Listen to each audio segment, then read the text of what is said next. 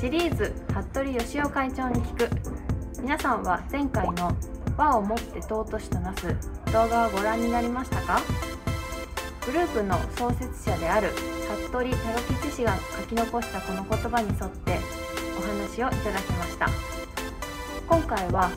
好奇心と向上心を忘れていませんか？についてです。どうぞ。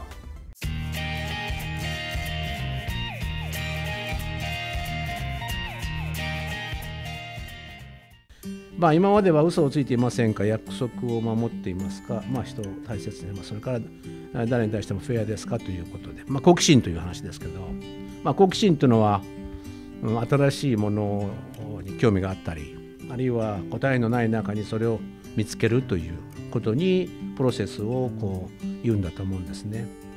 で、えー、まあ、私自身は、まあ、ずっとそういう意味ではあ好奇心非常に強い中で、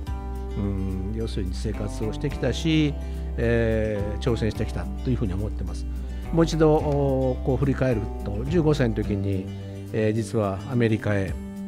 えー、高校1年生でアメリカに留学をしたんですね。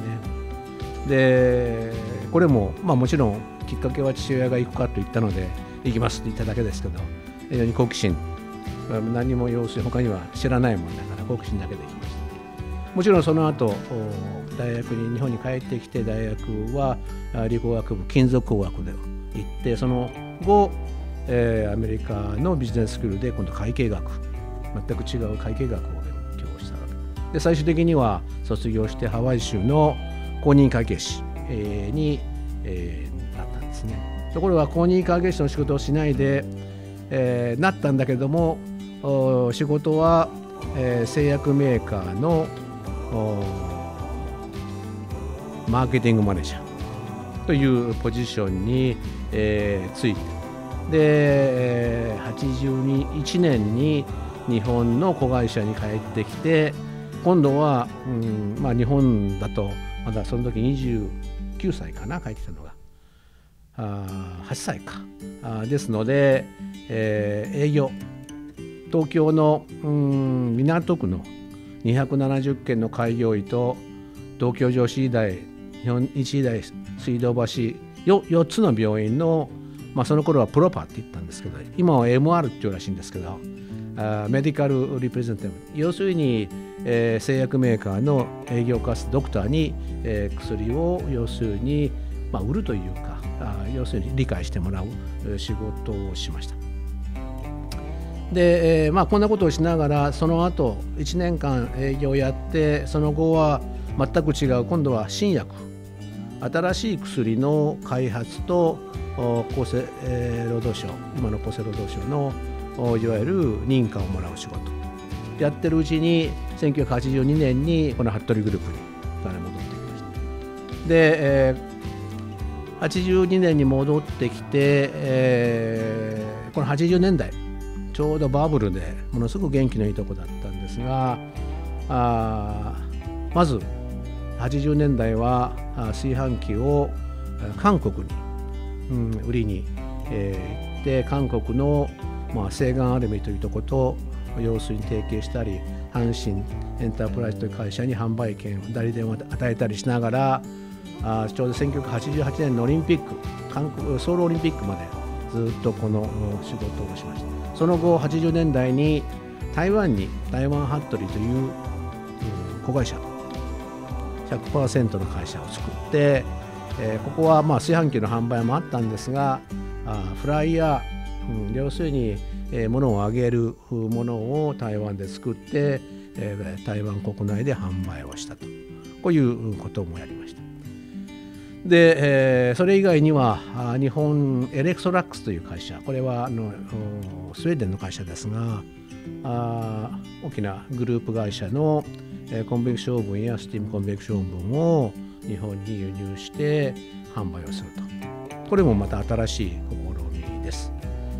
えー、まあ服部工業でいうとそういう新しい海外に出ていったり海外から物を買っていくものを調整したと。それからもう一つは株式会社ヤマサという会社ですがこれは私自身が設立しました。不動産から保険の代理店を開始しました。実はその間にまだ新しいこととしてはですねソニー化粧品ソニークリエイティブプロダクトの化粧品販売もしました。から服部商事株式会社今のアーティックですがアーティックと名前を変えて実はこれあの、うん、建築の認可建築の認可を取って、えー、建物の建築あるいはリフォームをする会社で、えー、現在、えー、も場所がありますけどもそこで建築とリフォームをそんな中で今度企業としてグループとしてはですね1990年代、になります、まあ、バブルがはじけてちょうど要するに、えー、日本が失われた10年というのが始まった時ですが実は90年代はまず最初に、えー、服部小池財団の中に山佐言語文化研究所という日本語学校1992年の4月1日開校ですので、えー、ちょうど今年で30年、です。えー、この開校時にはですね、えー、当時、えー、まだパソコンでアップルコンピューターっていうのがですね日本に入ってきてで教育の中ではこのアップルコンピューターを使うという形で、えー、導入したりそれから95年1995年にはあまあ我々仲間であった人間とグローバルオンラインという東京でですがえー、インターネットの日本で第2番目にできたインターネットプロバイダーを一緒に作りました。そして95年の5月にはですね今の山里ビルの2階のシュレッダーになるところですがあの裏にインターネットのアクセスポイントを要するに作ってその年にはあもう要するにあの今の経理の部屋ですね2階の部屋に、えー、パソコンを導入して、えー、グループウェアグループワイズという要するにソフトを導入して、えー、コミュニケーションは全部パソコンでしましょうねという形にしました。まだインターネットそのものはですね、えー、まだほとんど日本に知られなかったものですから、えー、その後、えー、インターネットのプロバイディングをすると。で、えーこのインターネットを会社を作ってインターネットをしたことがですね実は山佐言語文化研究所今は文化学院と呼びますけどもがこのインターネットマーケティングそのインターネットを使ってマーケティングをするという最初の日本語学校であり多分うんそれから10年間は唯一山佐がインターネットマーケティングをするという学校だったと。ですからあインターネットで、えー、時代に入って、えー、ヨーロッパからイタリアからスウェーデンからそれからアメリカから多くの学生が要するにインターネットで募集されてきたということを多分最初にした要するに、えー、会社でもある。そしてそれと同時に今もありますがコンタクトセンターという場所ものを作りました。それはアーテックの会社のアーテッククラブといって、えー、要するに栄養士さんたちを、うん、まあ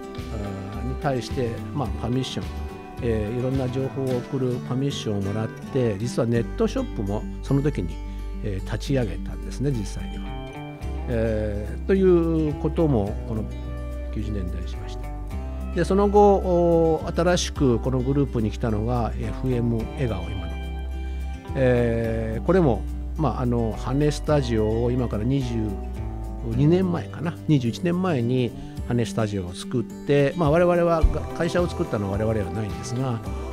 経営を引き継いで羽根スタジオをオープンさせた、えー、そして最後はあちょうど今年が15年目ですが暮らしの学校というカルチャーセンターも、まあ、21世紀に入ってからですがオープンしました。まあ、このらの要するにいろんな新しいビジネス新しい案件はですね必ずしも自分が要するに、えー、開始したものばかりでなくてですね、えー、人から頼むねと言われたものもあるわけですがどちらにしてもとにかく新しいことそして人が行ってないことに興味があり、まあ、まだまだ若かったので、えー、根拠のない自信がとてもあって、えー、楽しくそれをチャレンジしてきたというのが私自身とこの会社のグループのこう好奇心の一つのあれかなと思います。そしてその中にはうまくいったこともあるしうまくいかなかったこともあります。でもそれぞれの経験があいわゆる有形あるいは無形の要するに財産として現在の服部グループの要するに大きな財産になっているということは間違いないんじゃないかなというふうに